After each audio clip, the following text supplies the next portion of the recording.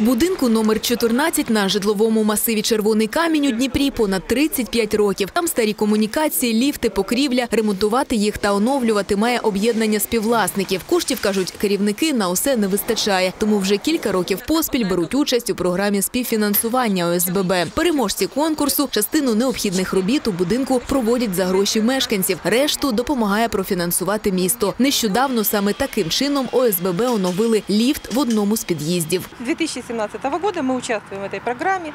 Мы делали крышу по этой программе, мы делали по этой программе, вот лифт сделали, мы э, делали, ну, крыша там с двух, так сказать, частей состояла.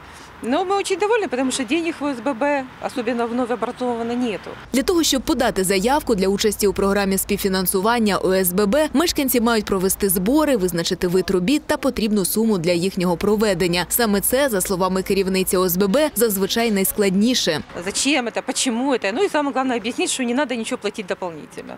Вот мы из всех этих программ, с участием в пяти программах, мы не заплатили, ну в смысле не собирали с жильцов денег никаких, то есть это все входило э, в тот взнос, который они платят. Щоб відремонтувати ліфт, треба було 200 тисяч гривень, 30% від загальної суми сплатили мешканці, іншу частину профінансувало місто. Переваги нового ліфтового обладнання встиг оцінити і Анатолій Єфимович. Розповідає, у старому ліфті застрягав неодноразово. Тепер усі механізми працюють без проблем. И лифт то ломался, то, то застревали, то еще что-нибудь э, выбивало там электрочасть, потому что там уже все эти реле, контакторы, они были так- в таком состоянии, что там был сплошной кошмар. Сейчас все ребята сделали отлично. Претензий нет. За останні чотири роки у міських ОСББ та ЖБК за допомогою програми співфінансування провели понад 2,5 тисячі ремонтів, кажуть міські чиновники. Будинкам допомагали оновлювати електромережі, систему опалення, комунікації, ліфти, ремонтували під'їзди та навіть готували технічну документацію. З кожним роком ми збільшуємо фінансування е, як за результатами там обговорень, дискусій, так і зустрічей там з міським головою. У нас, наприклад, того року додатково ще 10 мільйонів було виділено після такої зустрічі.